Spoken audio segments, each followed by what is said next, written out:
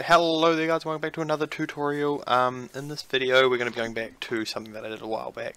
If we run the painter, um, as you can see we have some new things here. Um, we have some slider bars that affect the box down the bottom. Um, this gives us a possibility of a maximum of 200 and, um, sorry, 15 million different colours um, because we can obviously make different little ones and then draw them in. Um, and so what I'm going to be doing is showing you how to um, how to create these slider bars and um, gradient bars. Um, now hooking them up together, that's a different story. Um, the way we did that was I made this here a gradient button with a um, active color and an active color that is set to whatever it changes is changing to um, and then up here um, set the action that we used to pen color equal the active color um, of that square. So whatever color that square is then gets set to um, the color. Um, I guess what we could have done was actually use the same method for um, this action here when we set the pen color. Um, but never mind um, we did it another way which works as well because we needed it that way done in that way anyway okay so let's go on and show you how to do this um, yeah Alright, so what I've done, I've pre-set up all the stuff that we've needed um, to test. So we have, if we run this, um, a big white window with nothing in it. Um, and to start off with what we want to do is we have this button 1 here. Now, we've created buttons before. Um, I've actually had to make this function a little bit different because what we had to do was set a plus and a minus to Y so that we could get the um, the mouse position inside the button slider. Um, because the way we had to do the slider was a little bit different to usual a usual button. Um, so let's carry on and do this. I will explain in a second about the um, about the, the, the button so what we're going to do is we're going to go button 1. We're going to give it an X position of um, something we're going to hard code in. So we're going to go up here to the variables and we're going to hard code in bar equals um, bar equals 15, I, oh, 10 I believe, yeah 10. So 10 and we're going to also in take in scroll 1 equals 10. Sorry, x scroll 1 equals 10. X scroll 1 equals 10. Okay, um, and that's what we need for that so far. Okay, so going back down to here, we can then go into here and go bar. Um, we can also add, um, oh yeah, I, why not? We put in bar y as well, so bar underscore y equals 200, which is the height that we want it. So we're going to go bar underscore y.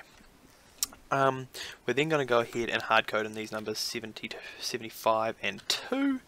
Um, so that's going to be the length is 75 and the height is 2, or the thickness is 2 of the button. Um, and that gives us that sideways um, looking slider. We then want to set it to grey. Uh, we already have all our colours um, from our last painter and set the inactive colour to also grey. Now we could change this by removing um, an active color from this thing. We could, I guess we could just completely remove that all out. Um, and then when we get down to making the button, we don't have to define two greys. We only have to define grey ones because the button isn't changing whether you're over it, mousing over it or not. At least this part isn't. Um, okay, so we now want to um, set our action. So our action is equal to um, scroll 1. So this is going to be our scroll bar number 1. Now inside our button statement we now want to go if um, action is equal to scroll 1 we need parentheses around or speech marks around that too um, then we want to go x scroll uh, 1 is equal to our uh, cur 0. Oh, not correct. Cur 0. So that is setting the scroll here, the scroll of the x coordinate here, um, to the value of the cursor, so where the cursor is on that line. Um, we can also remove this inactive color from here now and just set that to active color. Okay, so now we've got everything we need. Screen, oh, whoops. Okay, so now we've got everything we need to do our first scroll bar um, and we can go back down to here. Now what we want to do down here is we want to add the little like button bit that slides along and shows you where you are on the thing. So we want to go pygame dot draw dot rectangle.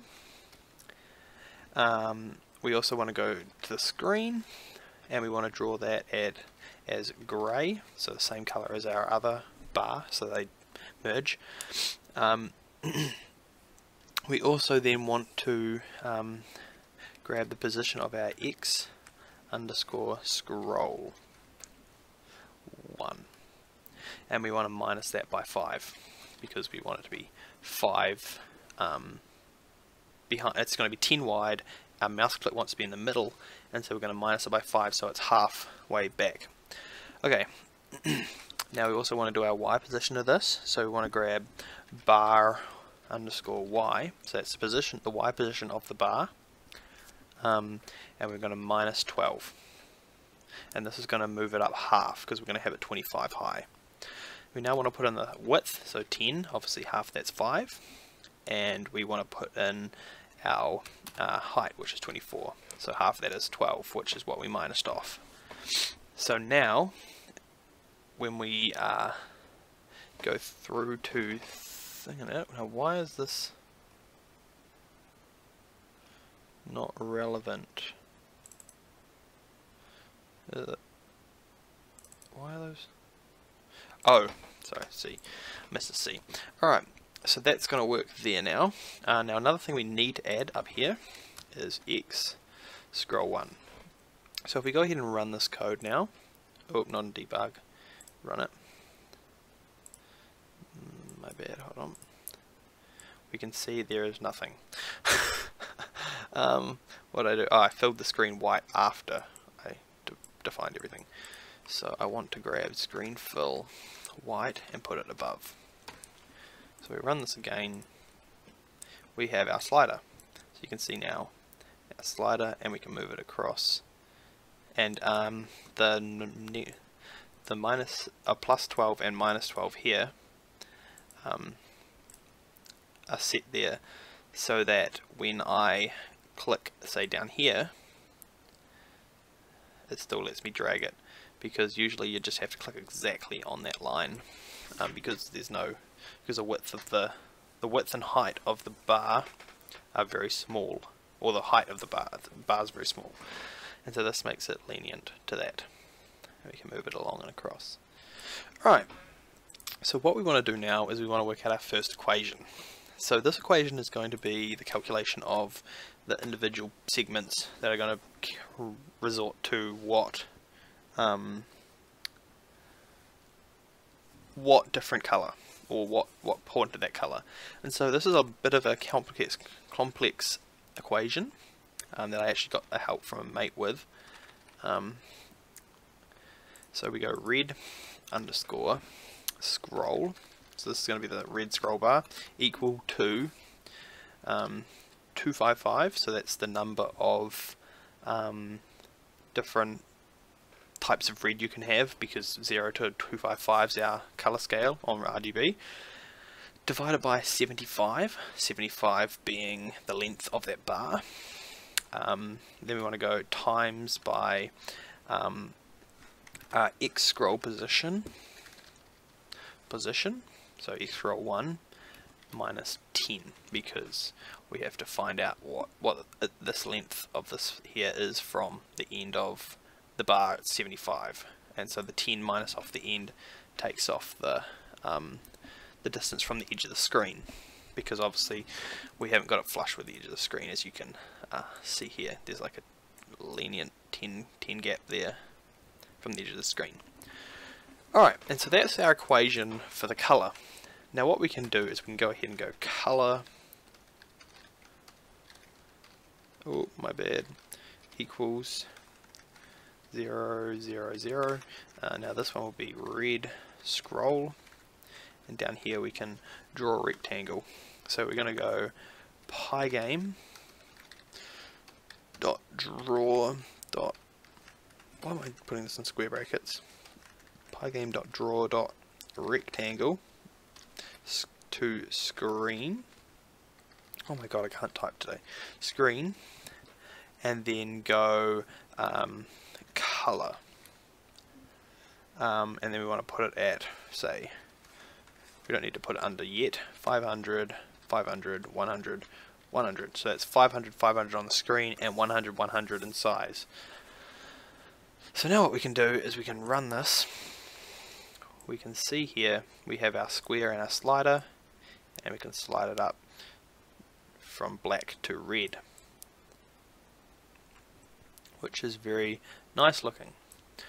Alright, so that'll do it for this video. In the next video we'll work on um, putting that gradient above.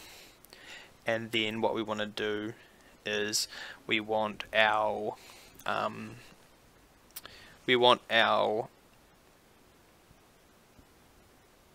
our uh, thing to be multiplied so we want three different sliders one for each one for R, one for B, one for or one for G, one for B. So red, blue, green. We want a slider for each different color. So that'll be in the next video. Thanks for watching. Bye bye. Alright, hello there guys. Um, you've obviously made it to the end of the video. Uh, so you've obviously enjoyed it or had to watch the whole thing at least. So if you could consider subscribing, that would be a great help to my channel. Um, if you have any suggestions for future videos, make sure to drop them in the comments below. Um, like the video to show your support uh, to me so that I know whether you like the content that I'm making. Um, and yeah, hope to see you in the next video. See you.